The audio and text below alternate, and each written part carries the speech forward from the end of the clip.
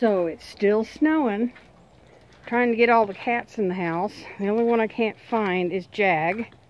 But he has a lot of hiding places. So he's not easy to find. It does not snow like this. Hardly ever. I think it's been about 10 years since we've had it snow like this. It is cool. Except when I was a teenager, we lived in Iowa for about seven years. I got my belly full of snow. When I took driver's ed, they had their 100 year snowstorm. I had a Chrysler Newport and that car was completely buried in snow.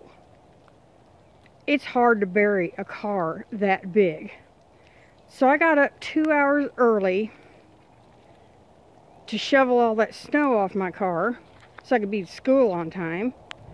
Look down the road and snowplow's coming.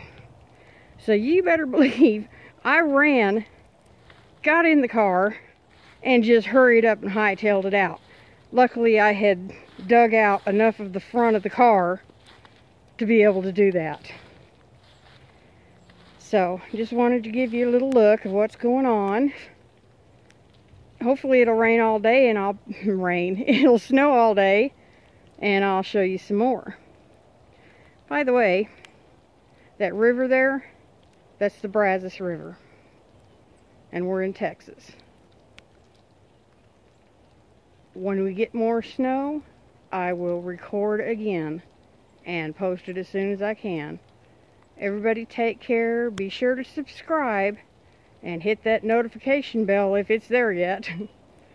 Thanks for watching.